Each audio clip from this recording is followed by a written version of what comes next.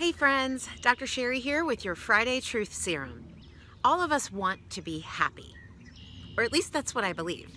We look to things and people to make us happy. And here's your truth. Nobody, no thing can make you happy. Not the perfect job, not the perfect spouse or partner, not the perfect children, not even the president. Apart from God, there is no source outside of you that can make you happy. You have to choose that. And the great news is you get to choose that. So why wouldn't you choose that? Look, people are going to disappoint you. Things are going to disappoint you. You can't control any of that. What you do have power over is what's inside of you. Your ability to choose through the power of thought, happiness, contentment, and enjoyment.